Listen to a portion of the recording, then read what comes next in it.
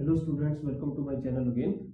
In the previous lecture, we discussed the first part of the semiconductor laser, in which basic concepts related with the working of the semiconductor laser were discussed.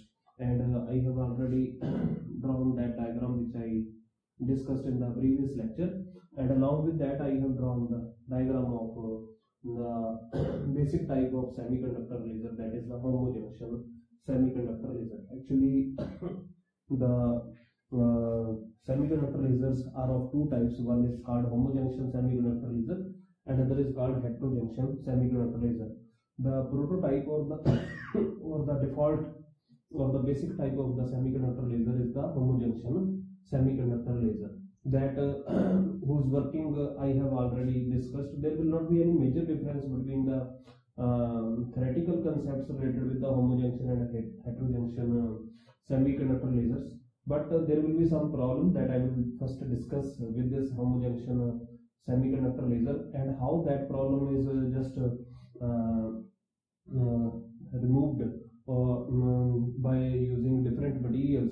The, that will result in the formation of a heterojunction laser. So first of all we must just study what is the working of the homojunction semiconductor laser and uh, what are the limitations of that laser for which we need to devise a heterojunction uh, semiconductor laser. Okay, this is the.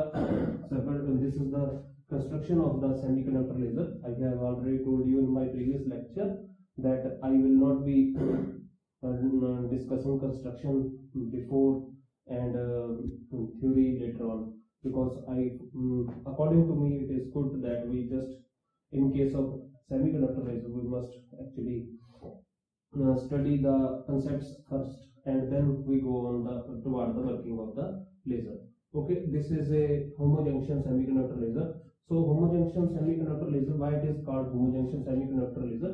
Because it contains only one type of b material and one type of n material. That is called homojunction semiconductor laser. And in case of heterojunction semiconductor laser we will be using two types of n type semiconductors and two different uh, materials for p-type semiconductor that will be called homogen- heterogeneous semiconductor uh, laser okay now there we have this is a homojunction um, diode this is a p-type material this is an n-type material actually what we take we take uh, gallium arsenide n-type gallium arsenide and uh, then uh, it is a single wafer of n-type gallium arsenide is taken then it is uh, um, doped by or you can say uh, zinc is diffused from one face at, a- at an appropriate te- temperature on that wafer and due to the diffusion of zinc up to certain length the material becomes uh, p-type from that side. So this is a, therefore both of these semiconductors are gallium arsenide and gallium arsenide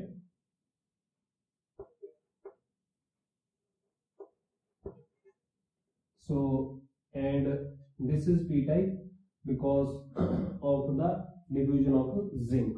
And uh, therefore it is a homojunction because on both of the types the material is the same. Next uh, in order to complete the external circuit the outer surface of uh, this semiconductor diode it is uh, just having some metal contacts so that the circuit or the connections can be made. So the length of this uh, diode is uh, of the order of uh, 500 micrometer to roughly 1000 micrometer which will be approximately in the range 0.5 to 1 mm you can see okay now this uh, is the depletion region. I have told you in the previous lecture also that the dimension of the depletion region are of the order of 1 micrometer now these two are the metal faces. The front side toward me and the rear side away from me are roughened. So these are actually uh, light absorbing or because of their roughened nature. And this right face and this left face of uh, this uh, semiconductor diode these are actually polished. And these end faces they form optical resonator and the type of the optical resonator is Fabry Perot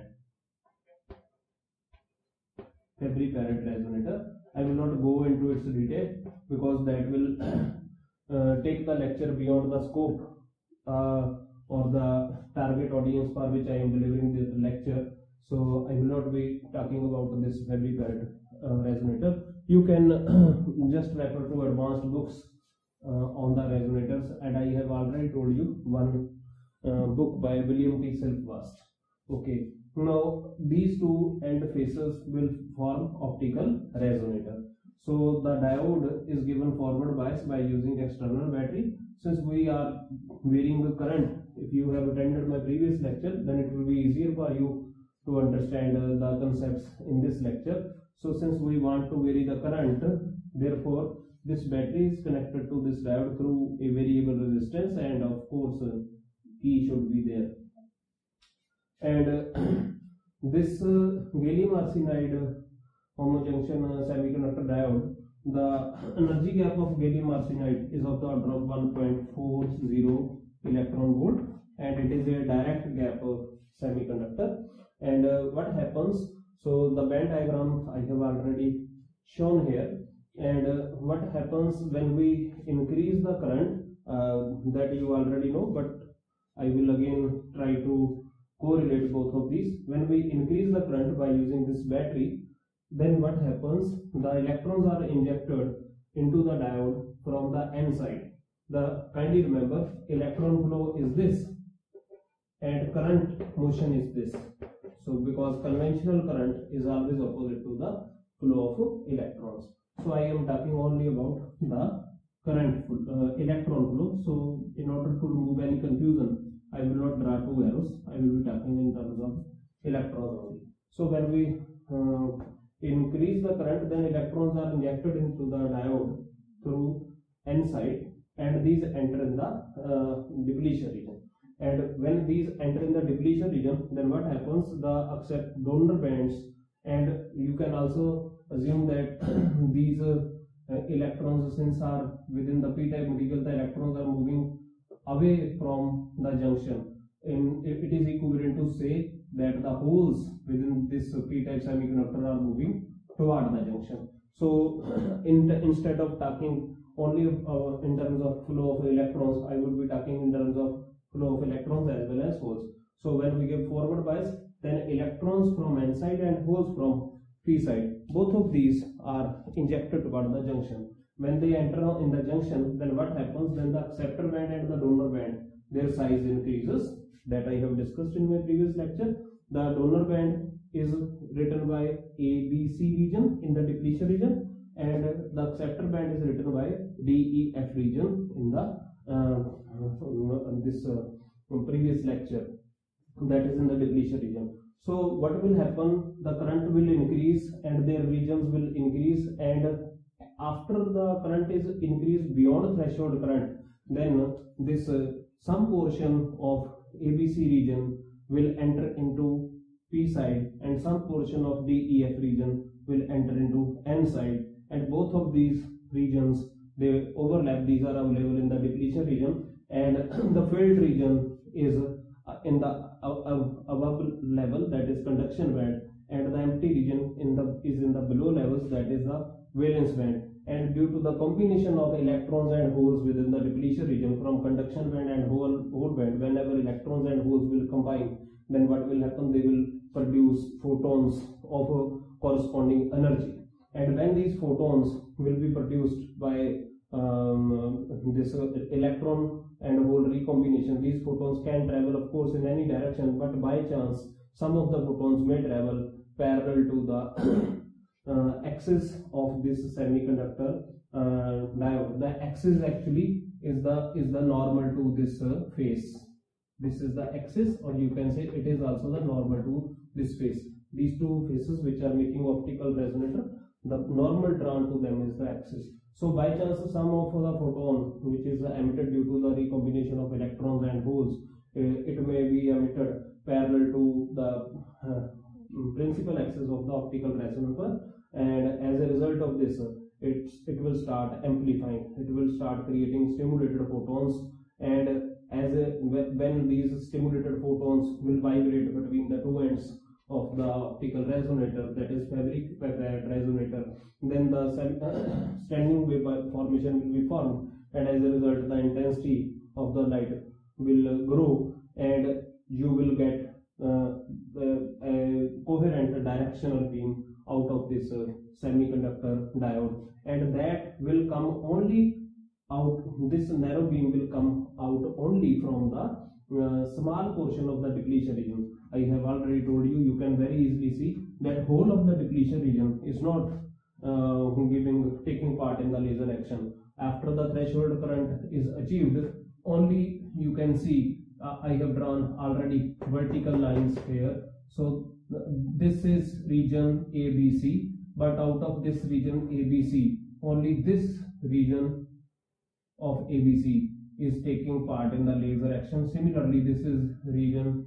def and out of this region def only this portion is taking part in the laser action. So the laser action is not confined to the whole depletion region actually the laser action is confined only to a small portion of the depletion region. Since the depletion region size is of the order of 1 micrometer the the overlap region for which population inversion is uh, achieved within the depletion region it is only of the order of 0.1 to 0.2 micrometer. It means only you can say uh, only one tenth of the depletion region is taking part in the laser action.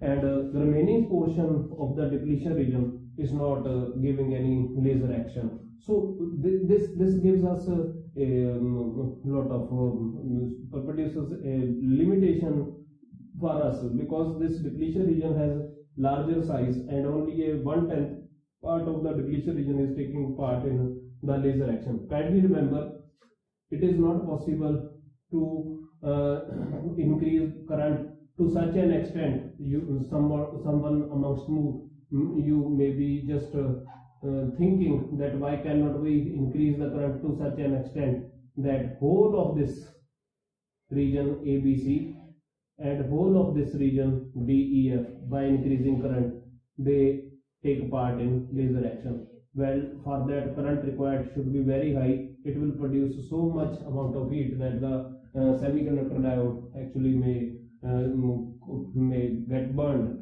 So due to um, excessive amount of heat. Kindly remember that this diode when the current will pass from uh, p to n so since the electrons are injected from n to p so the current will pass from p to n. So this uh, uh, path length which is uh, this is the length actually this is the height uh, of the diode. So this height of the diode will uh, uh, act as a uh, resistor.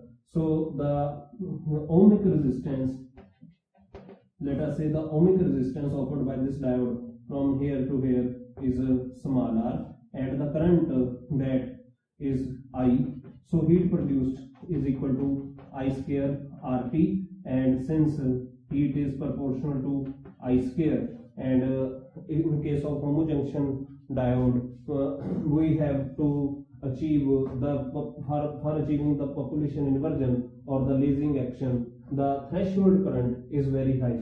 It is more than actually 50 milliampere so such a high current through a diode will produce large amount of heat and that large amount of heat can actually damage the diode. So it is not possible for us to get a large amount of intense light from the laser which is homojunction semiconductor laser because it produces um, more or excessive heat. The energy losses in such a laser are very large. Only one tenth part of the depletion region is taking part in the laser action and as a result this uh, homojunction laser is is not good for us. Uh, mo- moreover the refractive index uh, since both of the sides involve same semiconductor that is gallium arsenide here and gallium arsenide here. So the refractive index uh, is uh, actually uh, both uh, on both of the sides of the depletion region it is the same. So if the refractive index is the same therefore light uh, which will be emitted from the um, this uh, mm, seed photons through stimulated emission the or other uh, spontaneous photons which are emitted in uh, a direction different uh, than that of the principal axis of the optical resonator. These light photons may easily go out of the depletion region and enter into the remaining part of the diode and that will create another loss. This one first loss that I was talk I was talking about it is due to ohmic resistance and it was heat loss. Now this is a, a, a energy loss. It is the loss of the intensity because the photons are dispersing from the depletion region or these you can say these are dispersing or diffusing from the depletion region to the rest um, volume of the uh, diode because of the uniformity of the refractive index. So as a result, the intensity of the light that will come out of it will be very very small. Uh, another problem that I have already uh, in the previous lecture I did not give you the cause, but I told about it.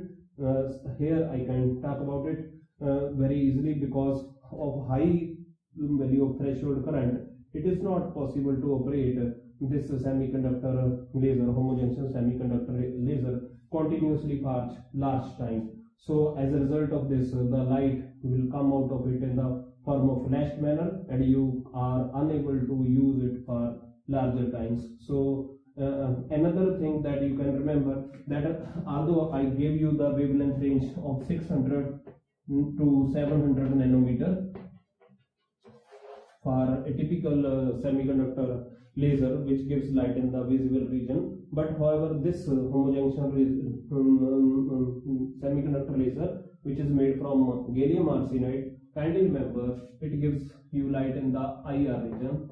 The wavelength is approximately of the order of 9000 angstrom. So you can very easily see that due to the uh, problems that uh, this uh, homojunction semiconductor laser gives us. So it is uh, therefore a need to uh, make uh, changes in the construction of the laser in such a way that number one we should be able to reduce the heat losses. Number two we should be able to confine the light only within the narrow active region which is giving you lasering light that is the stimulated emission and both of these requirements are obtained are actually met when we use heterojunction semiconductor laser. So this is the second type of the um, semiconductor laser. I will discuss that after that i will stop. So what is heterojunction semiconductor laser? So this is heterojunction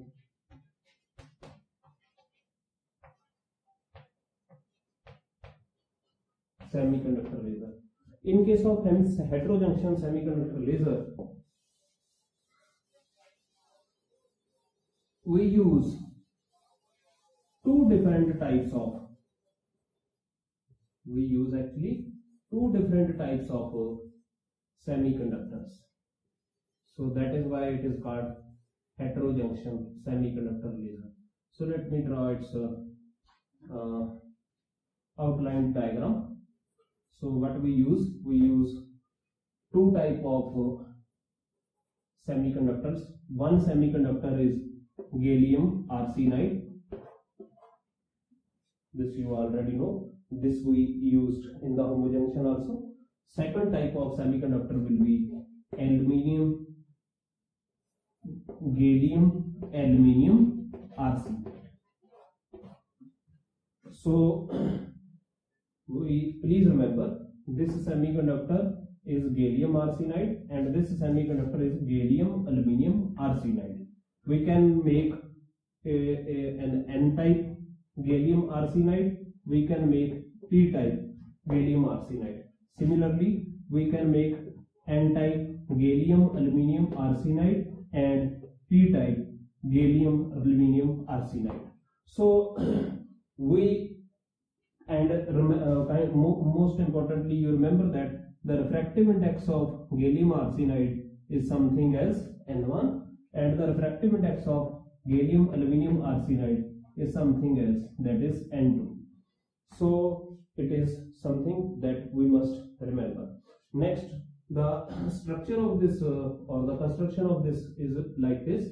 We have this uh, i can just erase this So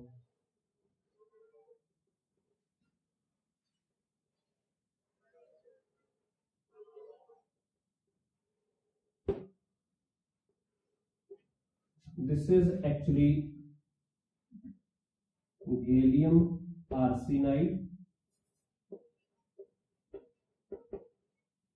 This is gallium aluminium arsenide this small region this small region uh, it is again gallium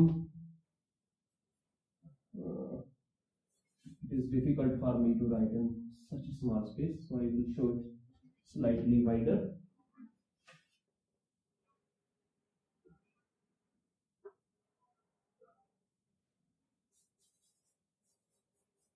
So this small region it is again gallium arsenide and this okay i would write it here. This is gallium arsenide and this slightly wider region is again gallium aluminium arsenide. And uh, of course it has to be there that the end faces in order to complete the circuit the end faces are metallized. I can show them shaded. Similarly here I can show some shading. So these are metal contacts which the portion that I have shown shaded so currently remember I am not going to draw the external circuit which is similar to that uh, in case of homo junction this uh, uh, semiconductor laser. Now please remember this is n type. This is also n type. This is p type and this is p type. So just i have drawn here written here that gallium aluminium arsenide it can be n type also and p type also so you can see this is gallium aluminium arsenide p type. This is gallium aluminium arsenide n type. Similarly gallium arsenide can be n type also p type also.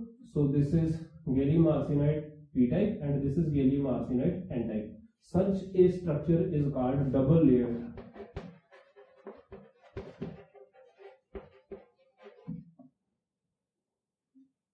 such a structure is called double layered heterojunction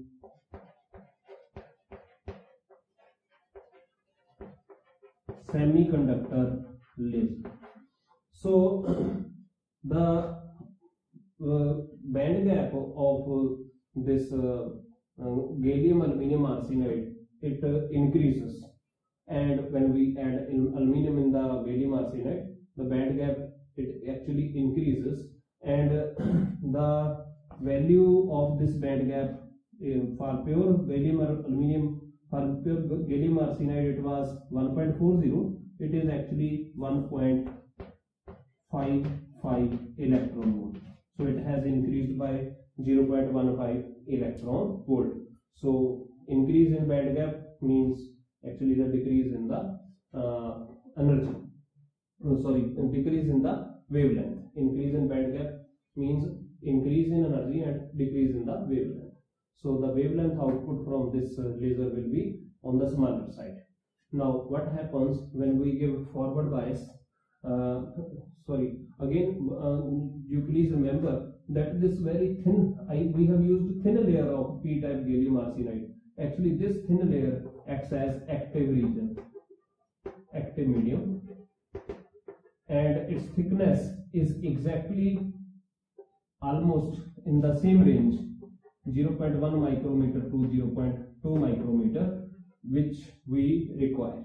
Uh, because now this whole p-type gallium aluminum arsenide it will uh, take part in laser action uh, unlike the previous homojunction where no whole part of the uh, depletion region was not taking part in the laser, um, was not participating in the laser action due to which there was um, unwanted effect of production of the heat and due to the uniformity of the refractive index there was unwanted effect of the diffusion of the light uh, into the whole uh, um, LED. Uh, what is very important, this active medium, uh, which is p-type gallium arsenide, to the one side of it it is p type gallium aluminum arsenide and to the other side of it it is n type gallium aluminum arsenide i have already told you that the refractive index of gallium arsenide and gallium aluminum arsenide is uh, different. Now this is gallium arsenide. I have used the symbol n1 for its refractive index. And this is gallium aluminum arsenide. Uh, i forgot to write a here. This is n-type gallium aluminum arsenide. So its refractive index is n2 its refractive index is also n2 now but it's very interesting fact to remember that the value of n2 is less than n1 so this is very interesting fact to remember. So if i draw the graph between let us say actually i do not need this uh, diagram right now. Uh, um, i assume that all of you uh, who are attending this lecture they have the knowledge of this diagram. If need be i will refer to it but i will not be drawing it. I will just ask you to just uh, see the previous part of the lecture you can rewind the video then. Okay now if we draw the graph here that uh, mm, let us say uh, if I use one-to-one correspondence these are the boundaries. Please remember this is the diagram this is the graph. So uh, on, along this side I will be using the variable as width. And along this side I will be using uh, uh, I will take this as my x-axis. I will take n. n stands for refractive index now the value of refractive index uh, within this region which corresponds to this portion of the graph is uh, constant and this value is n1 let us say this value is n1 I can extend these dotted lines here. And the value of refractive index within this region is n2 this value is n1 and this value is n2 and n2 is, is smaller than n1 so this will be n2 and this will also be n2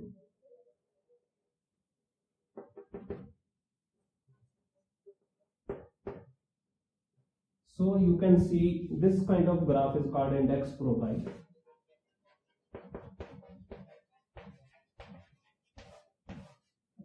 you can see that this uh, refractive index is uh, actually um, more for n1 and this value n2 this value is n2 now what is going to happen you can just imagine that when we will, will give forward bias to the uh, semiconductor diode this is it. This is p type from the upper side. So i will get connect positive terminal of the battery. So it will uh, electrons will come out here. Or conversely you can see you can say that the holes will be pushed down toward the material. Similarly this is i will connect negative terminal of the battery here. So the electrons will be injected from here from here these will be injected here from here these will be injected here. So you can see this portion which i have um, which is p type gallium arsenide which is acting as active medium.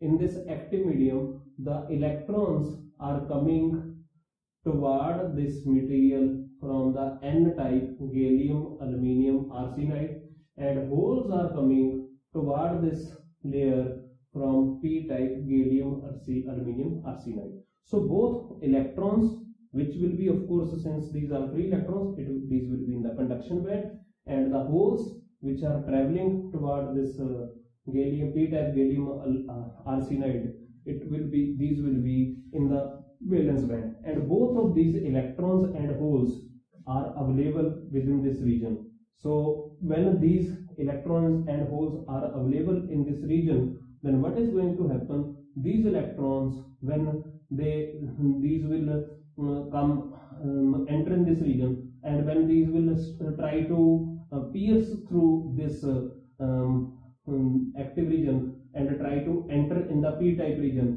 then because of the increased value of the band gap uh, of the gallium aluminum arsenide these electrons will not be allowed to cross this uh, junction easily. So after crossing uh, from here to here these will not be able to cross from here to here. These can cross from here to here because this is p type and the value of uh, band gap is decreasing here.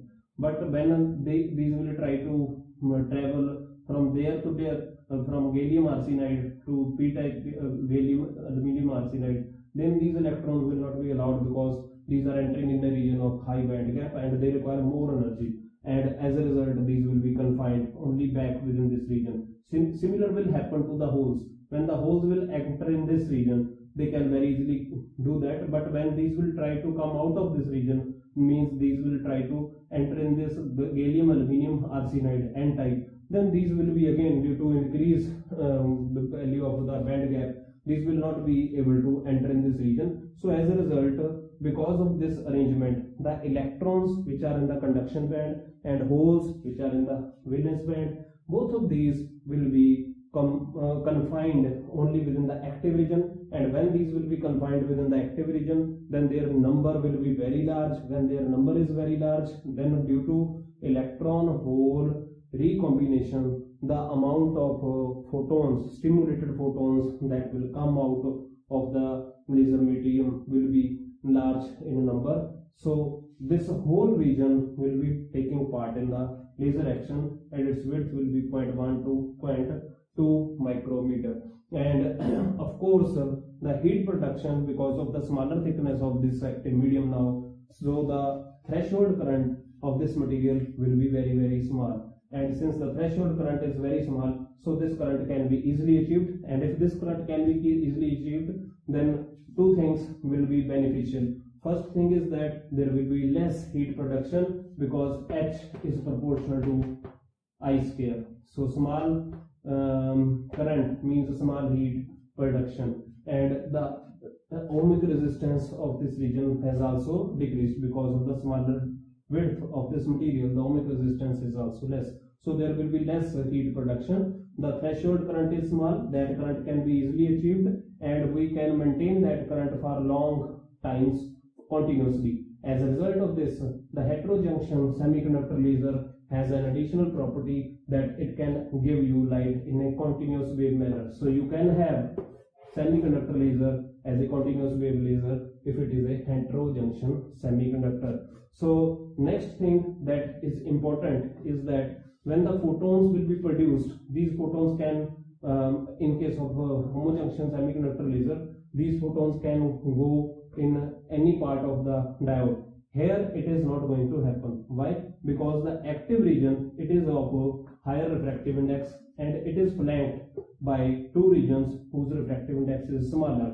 So, and you know that when light travels from denser to rarer medium and if an additional condition that the angle of incidence is greater than the critical angle. If that condition is met then the light will be reflected back and the process is called total internal reflection. So since uh, we it is just a chance that uh, um, photons will uh, strike here uh, at an angle greater than critical angle or not. But uh, but there are definitely a chance for large number of photons to do so so therefore most of the photons will be when these will be striking on the boundary toward gallium aluminum arsenic gallium aluminum arsenide on p side or either on p side or on n side then there are, are large chances that these will suffer total internal reflection. And after suffering total internal reflections they will these will be coming back within the active region. As a result of the standing wave formation in the active region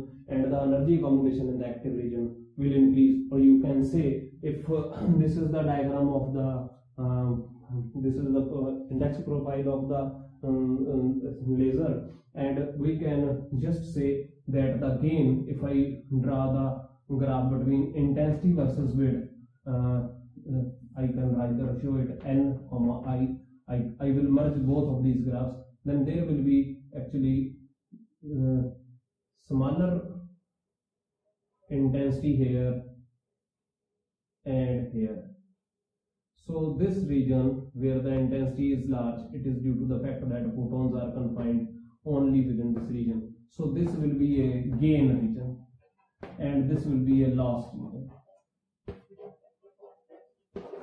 So there will be huge gain of uh, the light within the active region and as a result the intensity of light that will come out of it will be large as compared to the intensity of light through an uh, a homojunction uh, semiconductor laser. So the wavelength of this light it is for this gallium arsenide and gallium aluminum arsenide um, type heterojunction it is of the order of 8000 angstrom which is near the visible region or red color and uh, please remember that this uh, heterojunction semiconductor is uh, more useful for us than the uh, homojunction semiconductor laser. Lastly, I would like to tell you that we have discussed now in all my lectures, we have discussed four lasers. First laser that I discussed with you was ruby laser. Second was helium neon laser. You can see uh, the theory and functioning working of all these lasers in my previous video lectures. The third one I discussed with you was CO2 laser. The fourth one which I discussed with you in these two previous in the previous lecture and in today's lecture was semiconductor laser. Out of these four lasers, this is you know three level. Both of these are four level lasers. This uh, we usually say it is a two level laser. So this laser I in my previous lecture I told you that its intensity if you compare all these three four lasers out of these four lasers semiconductor laser has minimum intensity it has minimum directionality and it has uh, minimum uh, it has a minimum monochromatic minimum monochromaticity so quality wise if you want to arrange these lasers then uh, instead of uh, um, writing these in uh, some order I would not do that. But one thing is sure the semiconductor laser if we write the make a table of the quality of these lasers then the semiconductor laser is going to be placed at the bottom of that table. It will it will be quality wise the worst laser but uh, even then if it is quality wise the worst laser it is a very important laser for communication purpose. Particularly when we use optical fibers as communication devices. For optical communication semiconductor laser is a very very important device. What is the reason why these ruby laser neon laser co2 laser etc or other lasers uh, although these are of better quality but these are not so useful in comparison to semiconductor laser the answer is very simple that semiconductor laser uses direct pumping. There may be other answers also, but I am uh, discussing with you the uh, most relevant answer here. Uh, you can talk because uh, this is this will immediately burn. Uh, it produces light in the far infrared region. It may burn the optical fiber uh, because it, it produces heat. So uh, I, I will be just talking the most relevant answer. So here in case of semiconductor laser we use direct pumping. What is the meaning of direct pumping? The electrons which are giving you lasing light are those electrons which are provided by the battery. So we are giving the uh, um, electrons energy. We are injecting the electrons from the battery into the semiconductor and these electrons are giving the lasing action so if we vary the current then the amount of uh, electrons injected in the uh, this uh, diode will also vary. And uh, if the number of electrons injected in the diode is varying then the amount of intensity coming out of the uh, intensity of light coming out of the laser will also vary so you can say if you vary the current, you can vary the intensity of the light. In other words, the very simple uh, property of the semiconductor laser, you can say that uh, you have also studied that in the case of transistor. You call transistor to be a current controlled device.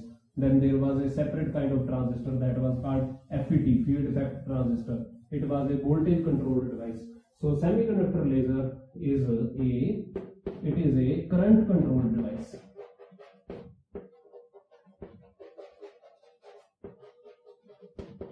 and it is a sort of good news for us because when we do communication what we have to do we have to modulate the light we have to put carrier waves along with the signal waves. Signal waves actually are the waves which are obtained from uh, information by using uh, appropriate transistors.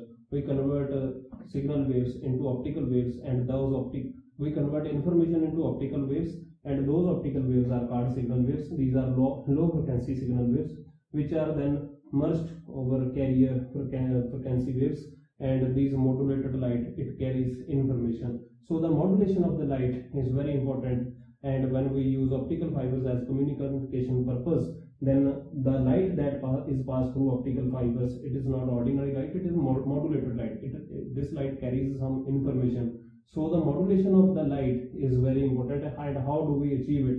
And in case of semiconductor lasers the modulation of the light is easiest to achieve by varying the current if we connect this uh, semiconductor laser diode with the um, AC frequency then you know that the frequency of the uh, current um, will cause the magnitude of the uh, the frequency of the current will cause its magnitude to vary periodically with respect to time. So if we connect uh, this uh, diode with um, an AC source, then the intensity will fluctuate uh, at the desired rate. The frequency of the um, uh, current will um, decide the um, fluctuation rate of the intensity of the semiconductor laser. That that is an excellent tool or excellent method in our hand to create the modulation of the light. So semiconductor lasers can be directly used in optical fibers because of their uh, ease of uh, modulating the light just by controlling the external current directly. Okay, that was the uh, last laser that I have discussed with you. So it was. Uh, I hope you might have enjoyed it, uh, this lecture, and I would request you that uh, you must uh, um, watch both of these my video lectures to completely understand the working of semiconductor laser. The previous part was part one of semiconductor laser. This one is part two of semiconductor laser. So uh, now I will stop here. Thank you. Thanks a lot.